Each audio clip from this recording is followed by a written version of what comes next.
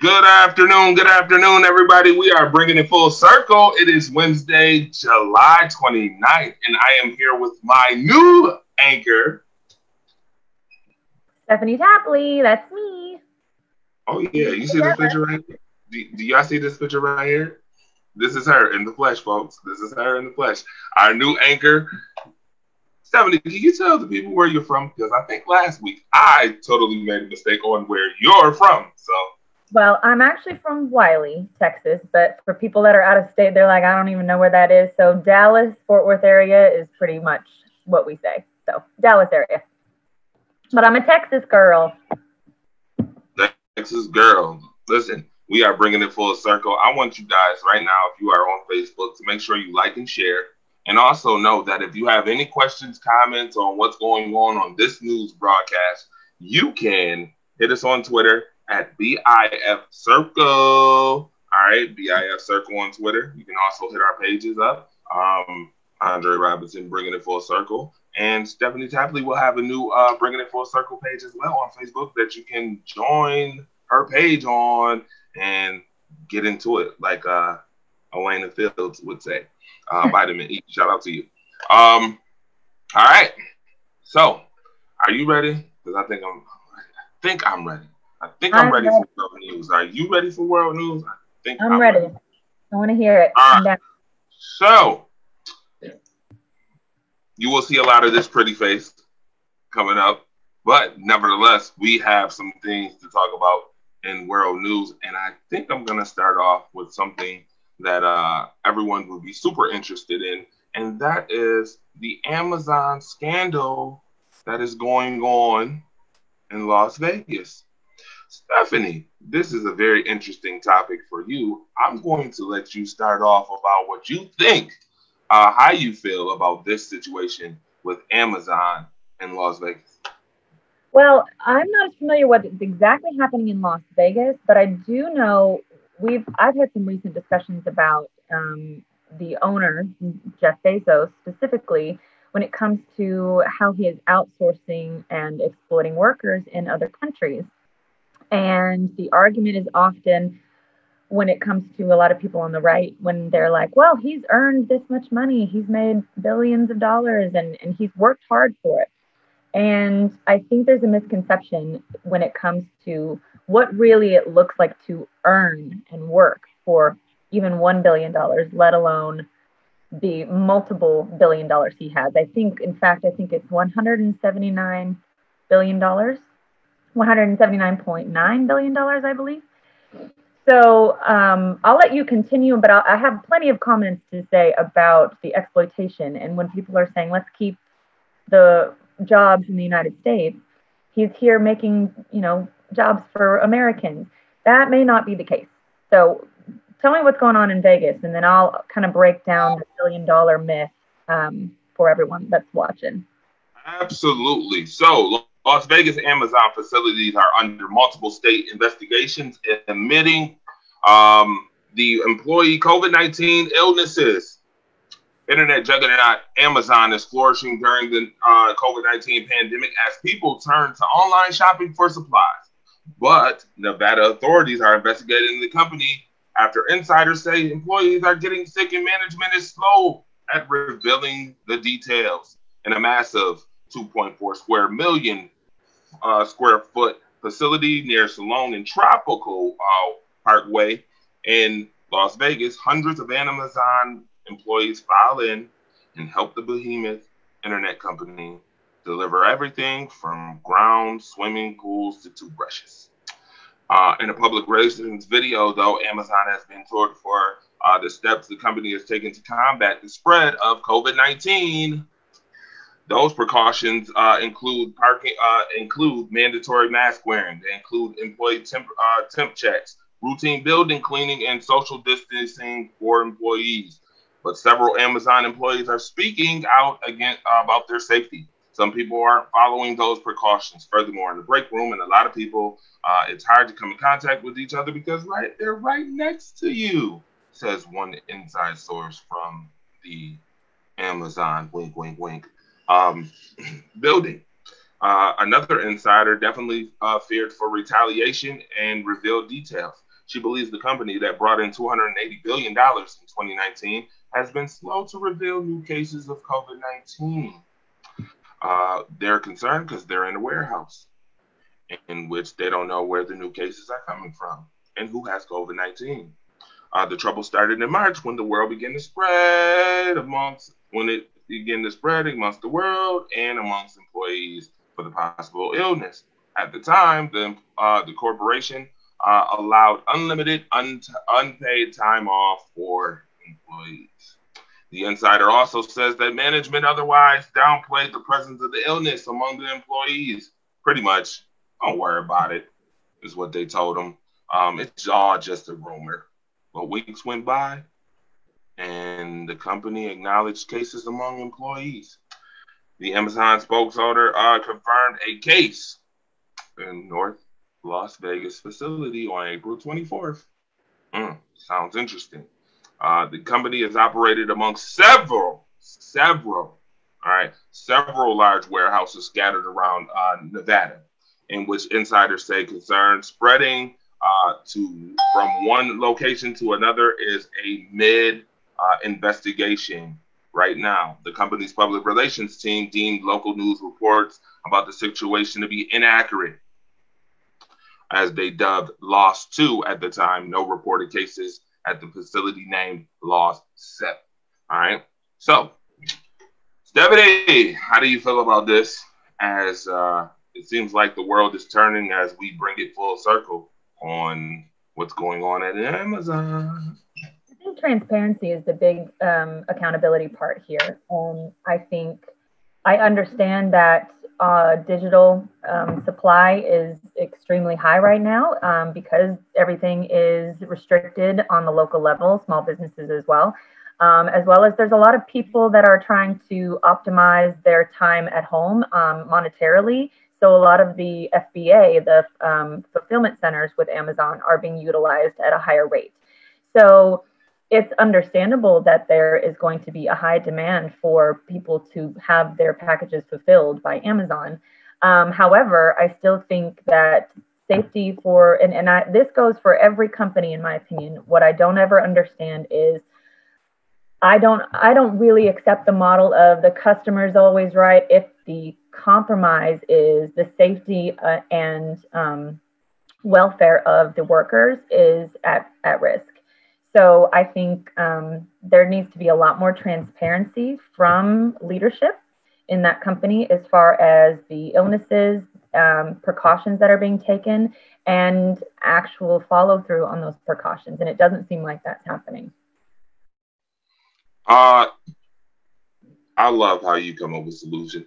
You came up with a solution in in the midst of talking about what's going on. Stephanie just gave you a solution, well, and uh, say it. I mean, implementation is always, you know, more complex, but but I mean, realistic. I mean, your your employees have to come first. I mean, uh, I understand bad press. I understand, um, you know, negative reviews. I get it. However, um, it would be serious bad press if you have a whole lot of deaths. So, I mean, with I mean, bad or bad choice at a certain point, you know. Absolutely, absolutely, totally and understand. Really can't handle a lot more um, negativity. Not that I assume he necessarily cares, but when you are the face of your company or you are represented or a representative, there is a higher level of responsibility and accountability. And when you employ millions and millions of people, you have a um, bigger responsibility to care for those people and be transparent about the care of those people, especially when it comes to the public trust. Whew. my Listen, if this was a talk show, I would click that thing for sure. She is she is definitely dropping jewels right now. Uh, again, if you are just tuned in to bring it a full circle, this is World and National News.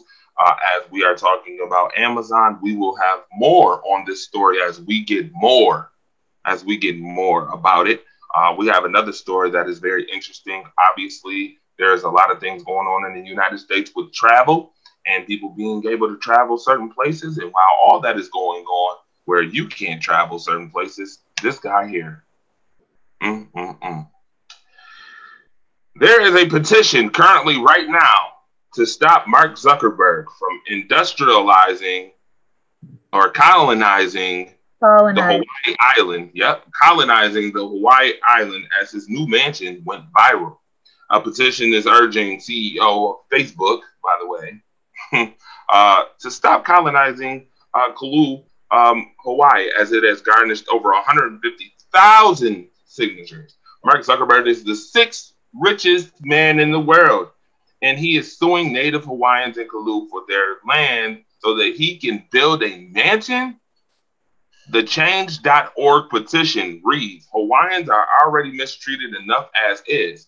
We need to let them have this. Their land is important to them. He's building a mansion to what? Live in Kalu for two months out of the year? This is inhumane. It's sick. He needs to be stopped, folks. It needs to be stopped, folks. He could literally build a house anywhere else in the world, but he wants to be here with us. we don't appreciate that. Well, and the All argument from people that are very, very pro, hey, you earn the money, you should have the right to do this or that. It's very important to note that the land he's trying to take is protected indigenous land. That's that's the big issue. That is protected land that government is not fulfilling their end of the bargain. Similar to the Lakota tribe when it comes to um, the uh, Mount Rushmore incident. There are treaties, there are there are protections when it comes to this land belonging to those people and that's being ignored so that he can start building another mansion regardless of whether he has the right to build a mansion or spend his money how he sees fit. That's not his land to take. It's again another colonizer situation where it's just like i feel like it i'm going to take it regardless of who it belongs to. That's the issue um, outside of the moral or ethical implications of just taking a whole bunch of land so that you can just have this big mansion on acres of property, which could be potentially used for better resources for the Hawaiian people. But it's really about the the legal and um, ethical issue of taking someone else's land. That's that's the big issue here, in my opinion. So uh, we have comments going on on Facebook right now. Uh, Stephanie, I can't see him. Davina L. Black Cloud Jackson. What is going on? She is very uh, inspirational and very instrumental in the fight for social justices here in the 716. She asked, Isn't he a part of Pizzagate? Maybe. Maybe. That's a whole other uh, deep state conspiracy theory, which evidence is, I was telling Selena yesterday, evidence on uh, some of these sites, it's very, very hard to get deep down to the real root of what is a real document, what is something that we can take at face value, what is something that we can rely on as a reliable source, and what isn't. And there's, with the ability to doctor documents, it's very hard to tell. There are some suspicious things. There are websites that say that that's been debunked, his involvement with the Podesta emails and Pizzagate. But at this point, the way 2020 is going, I don't know. Everything is a little bit speculation. But either way, he does not have a legal right to take that land, and it looks like he's probably still going to get away with it somehow. So that's a, a problem with the government not fulfilling their end of the bargain. Absolutely, absolutely. Uh, I definitely um, think that it is not cool whatsoever to take people's native land. We've had this problem for a long, long time now. Over 200 plus years of America, taking, you know it. Yeah, taking, absolutely. Wow. All right. In other in other national news, this one is a is a, a slobber knocker, a knee slapper too.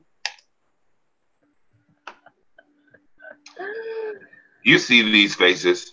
It looks like a scan. Hmm. Facial recognition? Well, guess what? There's new news that a certain pharmacy, this was a neat uh, shocker when I heard it. Um, Rite Aid deployed facial recognition, recognition systems in hundreds of US stores. Whoa. Uh, in the hearts of New York, Metro Los Angeles, Rite Aid has installed facial recognition technology in largely lower income, non white neighborhoods. Awesome. Among the technology the U.S. Uh, retailer used a state of the art system from a company that links to China and its authoritarian government. Over eight years, the American drugstore chain Rite Aid quietly, without all of you guys knowing, added facial recognition software. Uh, when questioned about the facial recognition software and who and what the reasons were for, they said, oh no, it's just to combat robbery and theft. With we're wearing masks right now, is it even going to work? Um, I can't open my phone with a mask on right now, so. We went to the Maury Povich show and we determined that was a lie. the Rite Aid store has been has been on multiple occasions caught for facial recognition towards African Americans and Hispanics alike. boy, oh boy. What's your just thoughts? more, just just more cultural divide. Boy, oh boy. Like, how many times are we gonna are we gonna really get rid of these stereotypes? Like, all black people don't steal. In fact, a lot of black people don't steal. There's a lot of Hispanics who don't steal either. Um, why are we targeting one, one, two specific ethnicities? Doesn't make sense to me. Uh, in fact, I'm gonna be very honest with you. I'm gonna be very honest with you. I have a Rite Aid that's right down the street that I will no longer be going to as uh, as a pawn to the fact that they might have my face on re- facial recognition for no reason. So I'm definitely not going to Rite Aid anymore. I will be boycotting. And in fact, um, if you are in the Buffalo, Western New York region, I think we need to uh, put together a petition and a plan in place where we boycott Aid. How about that? Solutions, solutions, solutions, folks. If you are from the 716 area, you can hit me on BIF Circle, and uh, I will tell you that we can definitely put this together. Let's stop spending money at Rite Aid. Well, as far as you talk about uh, the racial, the um, stereotype, you and I talked about this the other day. We've been conditioned to see us as separate.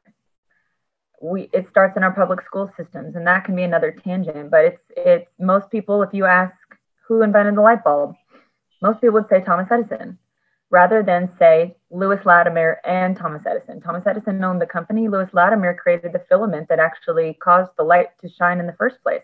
Lewis Latimer was a black man. But we're taught in school, we're highlighting the white contributors to our society and we're downplaying, minimizing, or completely erasing the, the people of color that contributed to our society. So we start to grow up seeing, as white people, seeing ourselves highly rep- represented in innovation and growth in the country and we don't really see people of color so we see ourselves as separate. And then for people of color they don't see themselves represented so they even start to have internal biases on themselves. It starts very young and is perpetuated in our society public school systems media all of that stuff. So it's it's not a past but it's understandable why we got here because we're programmed to have these implicit biases because it keeps us divided and it's intentional. It's an intentional way to have uh, c- continue with the class system because the class system is necessary for the upper elites to be where they are. It's absolutely a, necess- a, a necessary evil. So we have to learn to start educating ourselves and each other on the actual truth and coming together on common ground. Or we're going to continue to have this. Interesting. Interesting. You have definitely put it together in a nutshell. Um, listen, folks, make sure you like, share, support Bringing It Full Circle News as we bring you real news. Stephanie Tapley is on fire right now. I'm just going to let y'all know that again, she is on fire. Uh, I am happy to have you uh, here. And again, you see this, you will see this pretty face a whole heck of a lot, a whole heck of a lot more. Now, when we return, because that was uh, world and national news. When we return, yeah, yeah, we've got Alabama news coming up, folks. Alabama news. We'll get into some Wisconsin news. And then the moment that you've been waiting for, everybody, Texas news coming up. Oh, yeah, absolutely. Uh, coming up on Bringing It Full Circle. Don't you touch that down.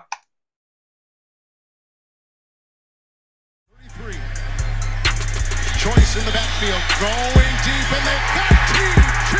Graham. He takes it inside the 25. He's working on. What's up, everybody? It's your boy Thad Lewis, and check out sports shows on the fastest growing streaming TV network, the On Point Network. You can stream it on Roku, Amazon, Fire Stick, Apple TV, Xbox, YouTube, and Facebook. Download the On Point channel and network app to any smart device. It's free, everybody. It's free. It's free.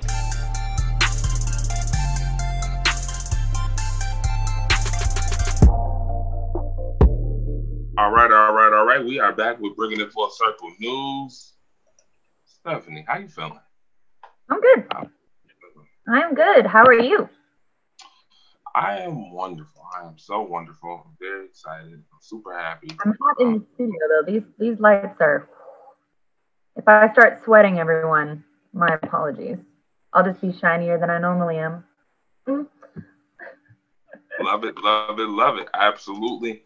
Hey, so Alabama news is on your way right now. And uh, I'm actually going to throw a little monkey wrench in because this is bringing it full circle. So, after Alabama news, folks, we are going to take a quick commercial break and then you will get Texas news. Texas news will come up, and then I will do Wisconsin and New York news. How about that? All right. Ready, ready, ready? Let's get to it. All right. So, in Alabama news, folks, John Lewis. John Lewis was honored at the Alabama Capitol after procession of Selma. On Sunday morning, Rep. John Lewis left Selma, Alabama for the final time. Red rose petals uh, led the way for his final journey, covering the pavement that was once stained in his blood when hordes of state troopers attacked him 55 years ago. This time, the Alabama state troopers saluted, carried a flag draped uh, casket. Lewis uh, passed over the fa- uh, fatal, the fateful Edmund Pettus Bridge and was carried to Montgomery, along with this the historic Selma to Montgomery voting rights march, which uh, was en route by a young U.S. representative by the name of Terry Swindell on Sunday. It was poetic justice that Lewis finally crossing state troopers uh, saw him safely to Montgomery after Alabama actions on Bloody Sunday in 1965 when troops led Lewis and 600 others on the Edmund Pettus Bridge with fists and billy clubs. Images of the racist violence levied against non-violent protesters would shock the nation, and the march would galvanize the push for national voting rights legislation. In Montgomery on Sunday, people lined Dexter Avenue to witness Lewis's procession to the Capitol steps, where family, congregational, uh, congressional uh, colleagues, and state leaders awaited.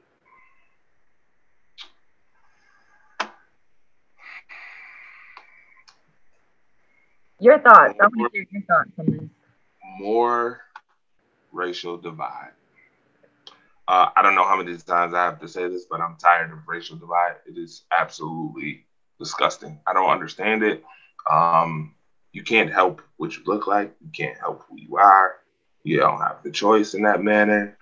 Um, why do we do this? Why? It, it, it me and it saddens me as well um, that we have to be subjected to this. And it's like 200, 300 years later, and we still haven't got over this. However, I will say that I'm a silver lining, a small silver lining. 2020 has been bananas, and of course, racial division is just seems like we're in a simulation almost, and we're re- rerunning previous seasons of Earth uh, as far as the racial tension is concerned. However, very recently, because of George Floyd's death and the more recent protests, I do feel there are a lot more individuals that are waking up and realizing their own implicit bias, our own history with documentaries like 13th and um, uh, When They See Us have been out and available during quarantine. So people have had the option to educate themselves a little bit more.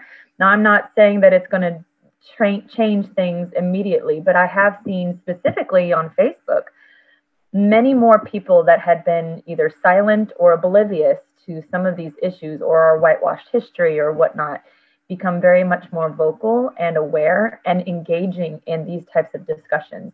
In fact, there was a um, a couple of months ago, there was a, a group discussion by a woman named Denise Lee here locally that um, runs a um, community conversation group, and she does it on every um, uh, once a month on Monday evenings. And we had 200 people on that call of all different races, all different backgrounds, and that was probably the biggest conversation we had ever had. And it was very eye opening to see people that had been in the dark for so long about these racial issues, mostly people that were not people of color, um, realizing how bad it is. Because when you're not directly affected by it, you're less likely to see it. And with the media being so in our face now, as opposed to older generations, I do think we have a profound opportunity to really change things now that we are having these discussions very openly, even when it's uncomfortable. So I do think there is a small silver lining of hope, but it's going to take work. And that means everybody has to participate and everyone has to be more self aware. Are you seeing that same shift at all, Andre? Uh, I'm seeing the shift a little bit, but here's what here's what annoys me the most. What annoys me the most is the fact that um, in the comment on Facebook from Delindra is John Lewis actually brought people together. I totally get that, but he brought people together on the strength of again racial divide. Why can't we just come together just to come together? Right. Same thing with George Floyd. Why did he have to die for us to come together? Yeah. Exactly. That's that's my issue. That's my biggest issue. Um, we should be able to just come together to come together. Yeah. Shouldn't have to take all that person, you know, having to suffer or a person uh, dying to be able to come together. Because technically, I mean, that person didn't even get to see how come together. Yeah. Why does there have to be devastating loss in order for people to wake up and, and try to make change? Why can't we just try and prevent that? It's preventative measures. Same thing they'll talk about in medicine. Do the preventative stuff rather than wait and have some sort of catastrophic issue and have a surgery that you can't afford and then you know you're stuck it's that makes more sense to me but i'm not in charge you and i are not in charge sadly absolutely not and with that being said um, we're not in charge of this either but in alabama the eviction ban lift has been lifted. Time is running out for some alabama renters as the federal eviction ban expired over the weekend. Now millions of uh, americans risk eviction. Time is running out for thousands of people in Alabama. If Congress doesn't extend protection uh, to renters during the pandemic. The eviction ban had been placed since March 25th and was uh, designed to protect renters in federally backed properties. Uh, it lasted 120 days and ended Friday. Landlords are required to give renters a 30 day notice before they can take legal action. So some renters may uh, be protected until at least August 25th. It is important to note that renters will be required to make back payments on their rent for months they've missed, but they won't have to pay late fees or other penalties. Some Alabamans in these federally backed properties did not receive extra funding from the government, so they cannot afford to pay. What will happen to many of these Alabamans? Hmm, maybe Trump will get off his behind and actually help um, and actually help uh, the Alabamans hopefully we'll see, or legislation will actually help the Alabamans. Uh, so, with that being said, uh, if you have any comments about any of these topics, uh, people that are watching on Facebook, people that will be watching on the OnPoint Network later on, you can go to BIF Circle, hit us up. We want to know your thoughts. Um, what will happen to many of these Alabamans? And with that being said, that is Alabama news for today. I have plenty of Alabama news for tomorrow. get ready as we will talk about more than 40 people, including the pastor, tested positive for COVID in Alabama after a church revival in Alabama. We'll also talk about the alcohol sales, uh, board sales. We'll talk about that. We'll talk about the uh, Alabama lawmaker says he won't resign after celebrating Klan members um, in Alabama. We will have all that for you tomorrow on Alabama News in which, let me tell you right now, we are going to take a short break. And when we return, Stephanie Tapley. Don't hype it up so much. Good Lord. Oh, yeah. Oh, yeah. Uh, it is Texas news coming up, folks. Texas news coming up right after the break. Don't touch that What's dial. Up? This is the one and only Cupid, aka Mr. I Can Make You Dance, man. And right now, you're checking into the OnPoint Network. Make sure you stay on top of that, man, on Roku, Fire Stick. Anywhere you watch your TV, you can catch the OnPoint Network. Tune in, stay locked. That's what we do. New Cupid.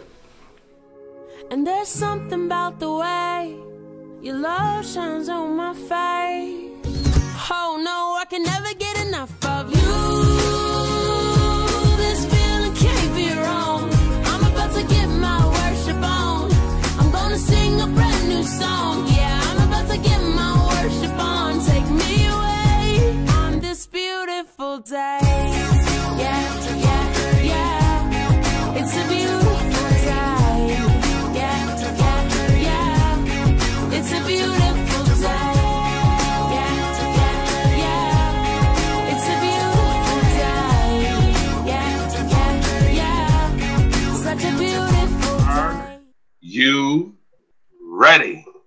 Are you ready? Are you ready? Texas news in the house. Stephanie Tapley's in the house. Let's go, Stephanie. It was more upbeat, um, but sad to say that there's um, some troubling things that I need to speak on. So, the first um, involves in Austin, Texas. So, um, you may have heard, but a young man by the name of Garrett Foster was shot and killed at a Austin, Texas Black Lives Matter protest against police brutality on Saturday, July 25th. Um, the shooter's name has not yet been released, um, but he was the driver of a vehicle whom eyewitnesses, including police, agree was driving his car aggressively towards the crowd, posing a threat to their lives. Both uh, the police and eyewitnesses said that the man in the car turned aggressively toward the marchers, and then Foster approached the car. The driver opened fire, shooting Foster three times. He was rushed to a hospital and was later pronounced dead. Now, there are a lot of details on this story um, which are still developing. There is an impending investigation still, but I do think it's important um, for you to see the clip of the shooting um, involved. Uh, this video was filmed by an independent journalist at the protest. I want to at least advise um, viewer discretion. It is traumatic.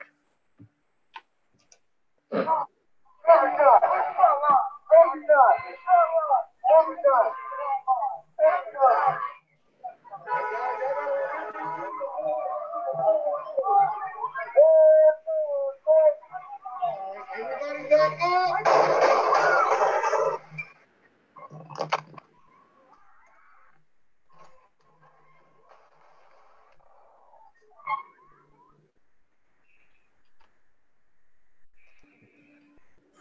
that video may not be the easiest to see, and even um, we can put a link potentially in the description so that you can look on it on YouTube. Um, even if you just YouTube the uh, Garrett Foster shooting in Austin, a multitude of different videos will show up. Um, what's unclear to me in the video is exactly who is who in the video, as well as if that black car that you see in that scene is in fact the car. Again, authorities have not released the name of the driver or the vehicle he was driving. So some of these details are unknown. Um, the important thing to also note, Texas is an open carry state. Now, Garrett Foster was actually carrying a AR um, AK-47 style rifle around his chest, um, and he had been protesting there with his girlfriend for the last 51 days. It is not uncommon to see somebody open carrying in Texas. Um, our laws are are open carry. So Allegedly, according to bystanders, the driver again was being aggressive towards the protesters. What's unknown still is whether the the streets were actually blocked off, as they often are when there are protests that are organized. Um, what's not clear is if the police were enforcing um, these boundaries and these barricades. Um, what's also unclear is, according to Garrett, and I'll show that video in a second, um, the protesters were told they can no longer protest in the street as well. But however, law states that you cannot protest on private property, including most right outside most businesses on the sidewalk, um, in public buildings. So where they were supposed to be protesting is kind of up in the air. Um, so what's also important to note is his fiance, um, the woman you see in this picture, she is a uh, quadriplegic. So she was in a wheelchair and they had been out protesting in the streets, like I said, for about 51 days prior to. If there is a car aggressively coming towards a crowd, especially if his fiance is in a wheelchair and unable to flee the scene out of the way of the car, which legally a car is considered a deadly weapon, it would not be surprising if he approached the car window as these bystanders have alleged. Now, it's still unclear. So far, according to eyewitnesses, no one has seen or did see Garrett aim his gun at the driver of the window. I personally still think, even if he had, he would have been within his rights to be defending himself, other protesters, as well as his fiance, who cannot defend herself to get away from this vehicle. Um, but according to eyewitnesses, he did not point his rifle or his gun at the driver. At that point, when he approached the window, according to witnesses, he shot five times. Uh, Garrett was shot three times, according to the reports, and was later pronounced dead at the hospital. In the video, you hear an additional three shots. Allegedly, that was another protester who also had a license to carry a gun who shot at the car as he was driving away. Now, the driver of the vehicle turned himself in. He allegedly called the police and turned himself in and let the police know that he was threatened by Garrett Foster, explained that he had the AK 47 and that he approached his vehicle, and that's why he shot. Um, the it is important to still note that the driver is released. Um, allegedly, there is still an investigation, but they are not releasing his name, and I think that's important especially coming from Second Amendment advocates. Um, Andre, you can uh, jump in on your commentary on this if you want, um, but I personally do support the Second Amendment. I'm not a gun owner, I'm not an NRA supporter, um, but I do think, especially with what we're seeing in Portland with the DHS, I understand the Second Amendment right. I do think there should be reasonable regulations on guns, and we can go into that separately at a different time. However, um, his right to have that gun, he is a he's a white 28 year old male. He is a former Air Force veteran and had a license to carry. And yet, the NRA, the All Lives Matter enthusiasts, they're all silent about this death. And I find that very interesting. Um, there is another clip I want to show you. So, a lot of people, including the police, um, specifically the police, are blaming or at least implying blame on Garrett for the fact that, well, he had he not had that big threatening rifle, maybe he wouldn't have gotten shot. And I think that is really important because it is in contradiction to a lot of people that support his right to protect himself against not only the government, but other people. And in this particular instance, the car. So I want to play the clip of the interview. Oh, why you got it out tonight? They don't let us march in the streets anymore, so I got to practice some some of our rights.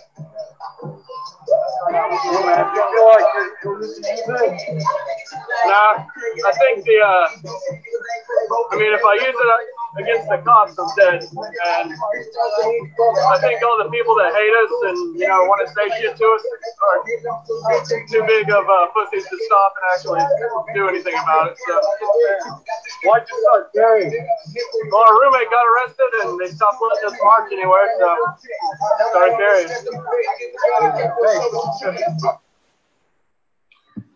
I also have an exclusive video if you want of uh, the shooting as well. More go ahead. Go ahead, play that. Again, this may be triggering for some, so if um, if that might trigger you, just pause and come back. Absolutely. Um, by the way, you can also uh, continue commentary while the video is playing too, so they can get an understanding.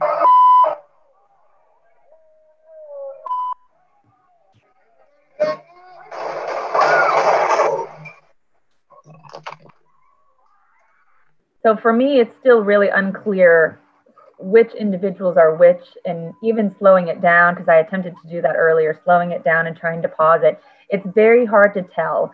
So uh, from where I stand, we have to somewhat rely on eyewitness testimony at the scene because this is just very difficult to see.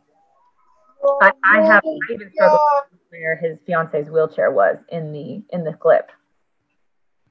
Um, down a little bit. Let's see if we can slow it down. So there's the fiance.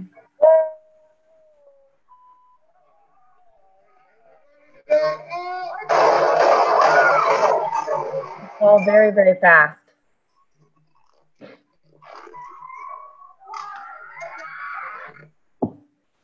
Very upsetting. Very, very upsetting. Um, the, here, go ahead and pause it, Andre, if you don't mind. I think they continue to play the clip, and I don't want to upset anyone unnecessarily. Um, the clip of Garrett speaking, so if you didn't hear him, um, he was asked by the independent journalist um, by the last name Garcia um, why he was carrying. And he said, uh, I think I have the actual quote, but um, essentially he said that they're not going to let us, they're not going to let us march in the street anymore. I might as well exercise some of my rights. He did say that his roommate had been arrested. Um, I have yet to be able to confirm that. Um, however, we are seeing several protesters being arrested, often for no reason or not being cited a reason. Um, he, again, has a right to carry. And even though there are people that are making comments on the colorful language he used, and when he made the comment, um, well, if I shoot a, if I shoot a cop, I'm dead, or if I use it against the cops, I'm dead. I still do not see that rhetoric as threatening or making a threat. Um, people are trying to argue that. But either way, according to eyewitness testimony, he did not directly threaten the driver. Even if the driver felt threatened, he did not have a right to shoot, especially when he is the one driving in the vehicle, which is the deadly weapon and threatening protesters. Andre, what are your thoughts on this so far? Uh, I hate the fact when people try to make excuses for uh, bad behavior. Obviously, um, like you already stated, it's his right to carry, to open carry state. Uh, you have to know the provisions of um, what constitutes uh, self-defense. Yep. Seeing someone seeing someone with an AR-15 does not constitute self-defense. Well, and especially in Texas, I mean, those of you that don't live here, especially in um, more southern areas like Austin, San Antonio, Houston, it's not uncommon to see people walking around with their guns holstered. Now, I don't particularly see a lot of people walking around with AK 47 style rifles. However, it is still legal. As well as when we are seeing these protests get violent, we have video documentation of these violent protests doesn't matter whether you want to argue who's starting the violence, there is evidence enough that a lot of these protests have had some semblance of violence at certain points. So if I were the fiance of a quadriplegic who is out there, you know, trying to exercise our First Amendment and Second Amendment rights and fight for justice and fight against police brutality, I would probably have my gun too, especially if I had been out there for 51 days and at some point they're basically telling them, you can't march in the streets anymore. Well, if we're not allowed to have our rights, then at some point, the argument that I always hear from Second Amendment advocates, NRA advocates, is you know, in case we ever need to overthrow the government or we need to protect ourselves against the government who out, you know, weaponizes us as far as tanks, surveillance, and, and weaponry is concerned, then we need to be able to exercise that right. And that's what the clause was originally put in the, um, the Constitution in the first place. And yet I hear silence from those same people when a white man is killed and um, a veteran, a law abiding citizen. So that, I think that's what's most hypo- uh, hypocritical is that there's silence from those groups. And I at least am, am I am encouraged when uh, since that since Saturday, protests have continued in Austin, but they are all shouting Garrett Foster's name, and it is not necessarily against police brutality. He did not die at the hands of police. However, the police are seemingly protecting his assailant by not releasing the name, not, you know, not uh, by releasing him while there's a pending uh, investigation going on. So it is a little bit troubling, in my opinion. All right. Uh, any more Texas news for today, or Yes. So let me let me scooch over and add this real quick. So um, this is more in regards to ICE. Um, very recently, this is somewhat related, but very recently there were reports of the um, about 3,000 children from these um, detention centers at the border that are missing. Um, uh, some of them have been alleged to have been trafficked. And that's why this story is equally as troubling. So I'm going to read you a little bit about what's going on in McAllen, Texas. And this is also going on in Arizona, specifically with Hampton Inns, um, which is owned by Hilton. So um, in McAllen, Texas, uh, Hilton Hotels and Resorts denounced late Friday the use of South Texas Hampton Inn as a detainment center for migrant children. The same day, civil rights attorneys sued the government after going viral on social media when they tried to contact the children and were forcibly thrown out of the hotel by three men who refused to identify themselves. Hilton said its hotel in McAllen is independently owned and managed, and that it accepted reservations from a private contractor working for the U.S. Immigration and Customs Enforcement, ICE, to house migrants that are being transported. To quote uh, the company, this is not activity that we support or in any way want to be associated with our hotels. Our policy has always been that hotels should not be used as detention centers for detaining individuals. We expect all Hilton properties to reject business that would use the hotel in any way. Hilton uh, did. Uh, Hilton said it did not facilitate the reservations or have the enterprise agreement with the contractor, later identified by ICE as a private security firm, MVM. Hilton said the hotel owners have since canceled the business and that the detainees are no longer at the hotel. Their current whereabouts is still unknown as the story continues to be investigated um, which is important to note as well. We still do not know where those um, detainees are. The about face comes one day after attorneys with the nonprofit Texas Civil Rights Protection uh, or Projection uh, Project, sorry, tried to enter a floor where the children were being held. And in a 30 second video that's posted on Twitter that we can link later, an attorney is confronted by three men as they step off the elevator.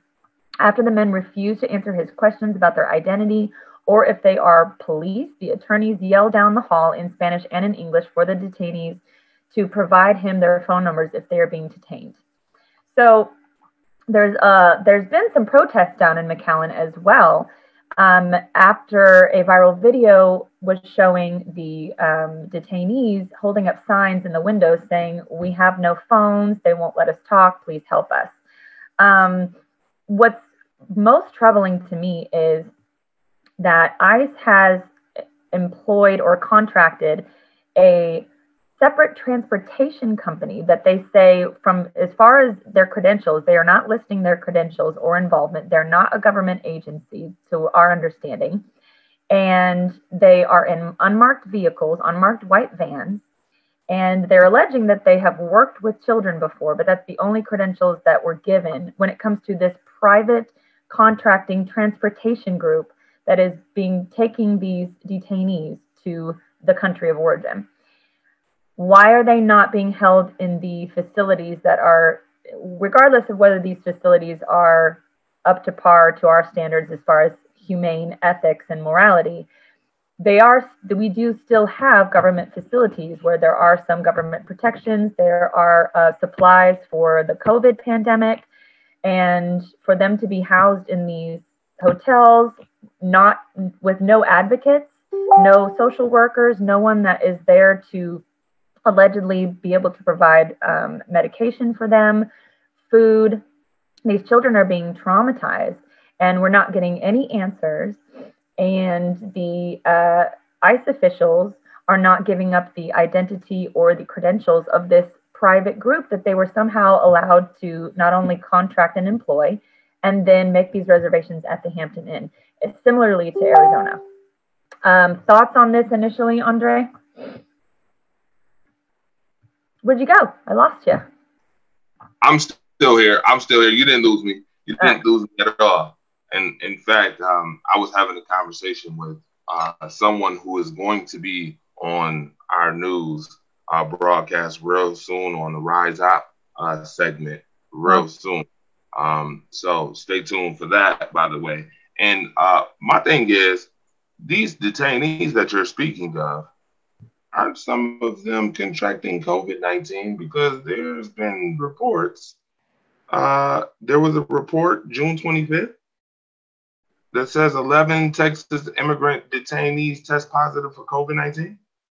That wouldn't shock me at all. And and and with this, with this separate facility now in a hotel where there's no um, checks and balances and no accountability from any other government officials, regardless of whether we think the government was doing what they were supposed to be doing in the first place in our own detention centers, we have less likelihood of those being enforced or or taken care of in these private hotels, and then again being taken off by these vans, which these people won't even identify themselves. I guarantee you they're not supplying um, PPE or sanitization. Um, I don't think they have um, proper supplies. Um, as, and what's what's most troubling too is in 2017, Governor Abbott of Texas um, made uh, quite the statement about really cracking down on uh, uh, child trafficking, sex trafficking in Texas in 2017. A few bills have been introduced in 2018. However, not much has changed and the numbers continue to rise. And the bigger concern, as well as with COVID, I know there's a lot of debate about whether we should reopen the public schools. I know Governor Abbott has allowed for that, for the districts to make their own decisions. And I personally think that that there's again, it's we're always stuck in these choices of the lesser of two evils. While I think that there is a more higher likelihood of COVID contraction and sickness, but what's important to know about when it comes to reports of child abuse, a lot of the people that end up reporting child abuse or suspected child abuse are teachers, because a lot of times children are abused or trafficked through people they actually know, whether it's in, especially in the foster care system, um, because there's always a little bit of short staffed issue when it comes to CPS.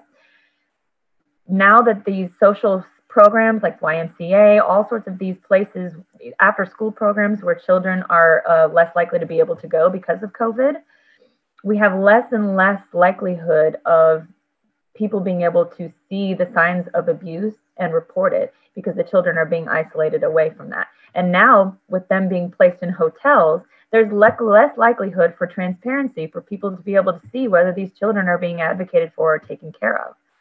It's and especially because they're migrant children, we all know that us versus them mentality. I think that they see them as less than or not American or whatnot. And so people are less and less likely to speak out against it.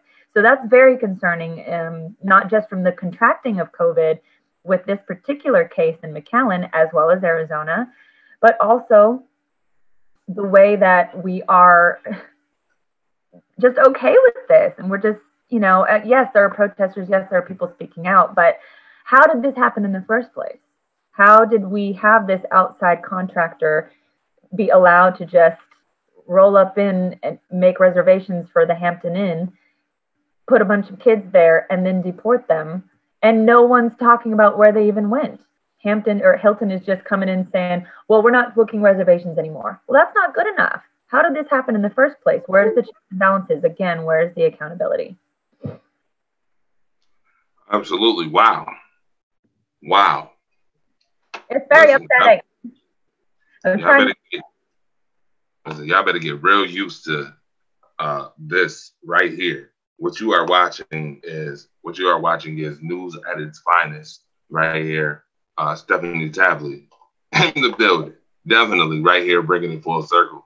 Texas News. Uh, Stephanie, tomorrow we're gonna have some more Texas news, I'm sure, on the way. A whole lot of whole lot of Texas, Texas down home news coming up.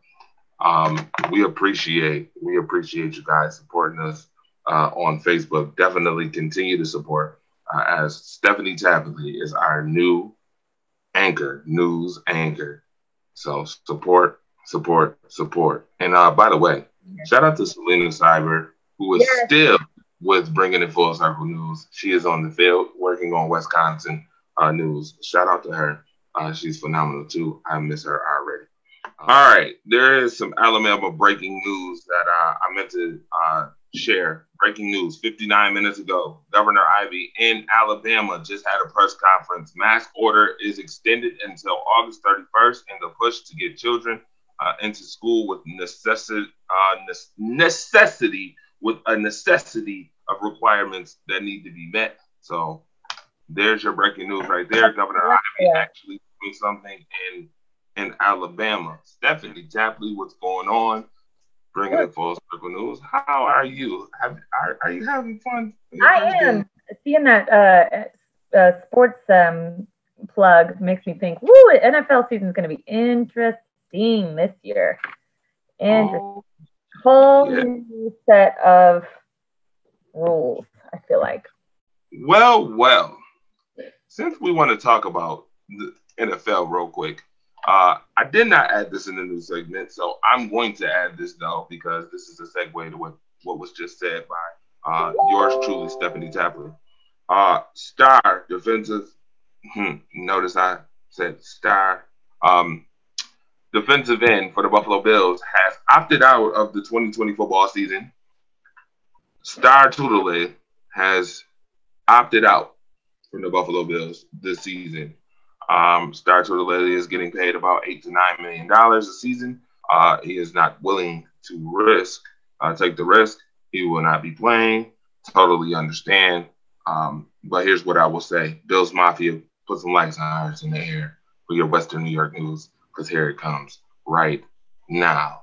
Um, cut him. That's it. That's all I'm gonna say. I will give you more information on on sports shows as they uh, pertain to one Buffalo Bills um, defensive end Star Lotulelei. We will talk about him on Sunday. All right. Make sure you watch that show that you just seen the commercial for. All right. Buffalo Bills edition of Rise Up Early. All right. Now, now that we got that out the way, we need to talk about something that's very serious. Buffalo Soldiers Day, folks.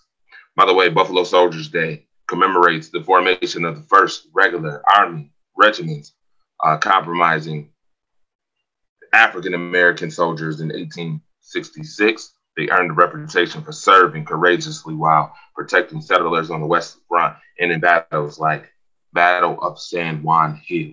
All right. Tomorrow, to kick off our Western New York news, I will have a video showing you um, some footage of that um, from, you know, Buffalo Soldiers Day. Um, we want to commemorate and give uh, respect to the Buffalo Soldiers as we give respect to all of our military who protect and serve. Thank you. All right.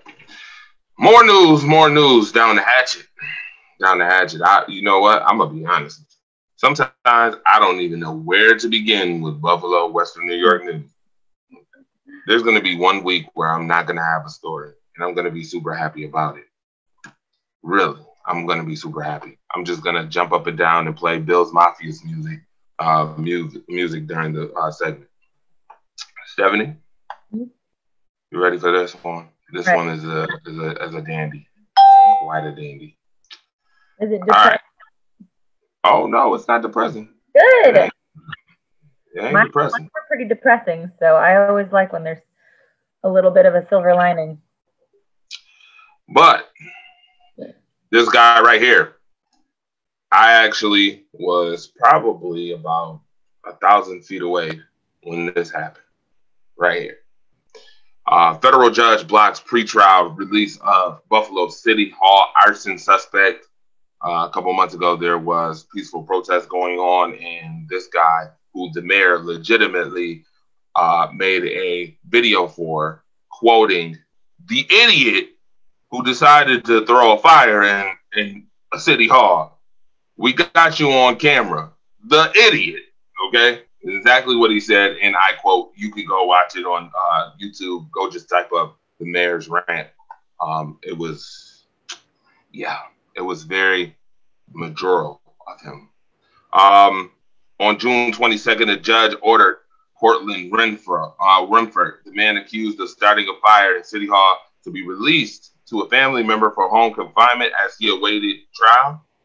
Mm-mm-mm. Federal judge has now blocked that decision, ordered Renfro to be uh, detained until trial.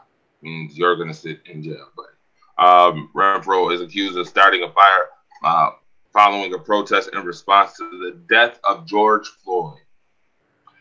The attorney for Renfro submitted a motion of release in June under the change of circumstances submission that uh, listed the mother of Renfro's sister being a person who would be accountable for him on the release. The motion indicated Renfro will live with his father. In addition to the change of circumstance, Renfro's attorney also submitted evidence showing the damage inside City Hall.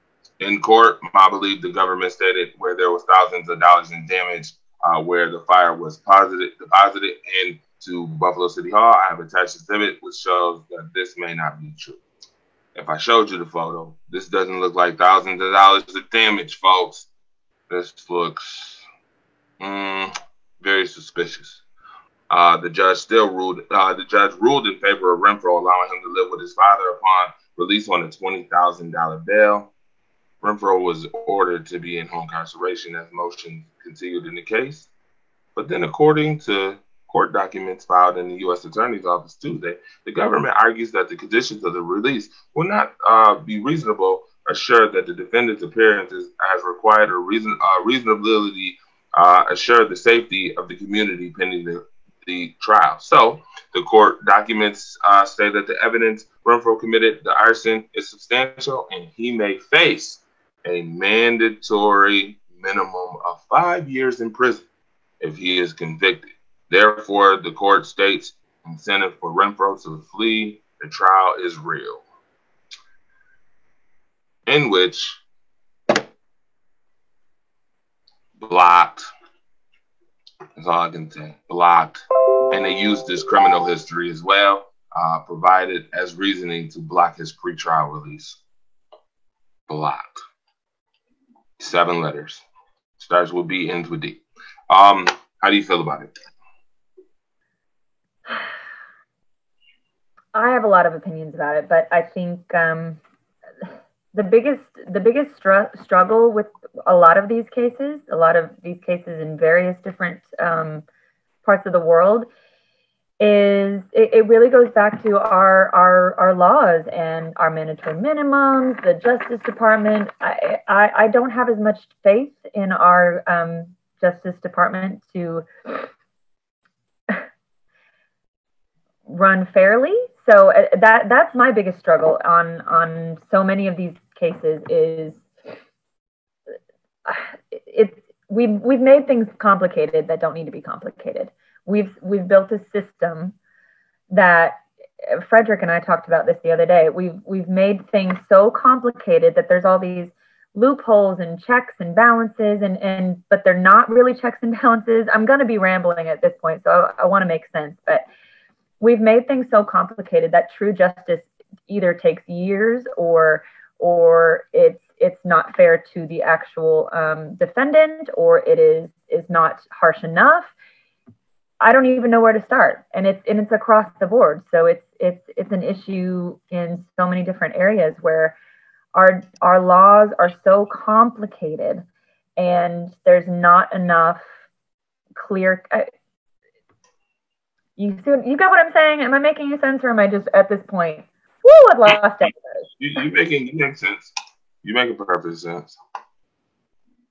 Speaking of making sense, speaking of making sense of laws and things of that nature, the Buffalo Common Council needs to make sense of this Cariol's Law coming up. By the way, we've had her on uh, bringing it full circle uh, during peaceful protest.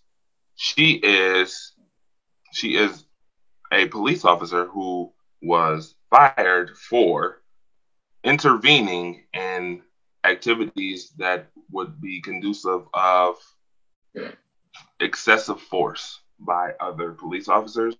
She was fired for it and lost her pension. The Buffalo Common Council met Tuesday afternoon to discuss ways to draft what some would call Cariol's Law. Uh, Cariol's Law is a phenomenal law, by the way. Um, again, I've had firsthand uh, conversation with uh, Cariol, Cariol Horne. Shout out to her. Um, and thank you for what you're doing in the community here. It is a six-fold uh, piece of legislation which says number one, mandate an officer's duty to intervene. Number two, consequences if uh, officers do not intervene. Number three, protection for officers who do intervene from retaliation, reassignment, or firing. Number four, consequences for officers who falsify reports for force incidents. Number five, termination for repeat force offenders. Number six, restoration of pension or position uh, for officers who faced retaliation for intervening. No decision was made because the council needed to discuss with its legal branch what law, what parts of law can be impeded at the local level without the power of the state law behind it. Sounds like a floozy. Sounds like the uh, Common Council is being floozy. Um, in a nutshell, members also asked for legal, uh, asked legal for information regarding which body has power to discuss a reinstate pension. Reinstate her pension, man. Stop playing. Uh, Cariol Horne is a former, uh, like I said, police officer who said she was fired after stepping uh, into a uh, stop after an officer was placing a man in a chokehold. They got that infamous chokehold again. All right. The Common Council is hoping to draft the law by the end of the week and will vote in resolution after its August recess.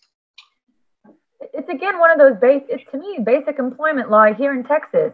If I had to make a report against my boss or my direct supervisor, I have protections under the Tex- Texas Workforce Commission to not have retaliation, to not be fired for reporting either, you know, sexual assault in the workplace or sexual harassment, any of those things. Why is that not prevalent within this police force? Why is that not just a general given, an accountability? And like we saw in, uh, I forget which state it was when uh, during several weeks ago, when uh, the police officer pushed down that 70 year old man and not one police officer. I still wonder, and again, I know there's people on different sides of it. I still wonder, was no one bothering to say anything because they knew they'd be retaliated against, or is it just this pack mentality, whereas we, we support our own and that's it?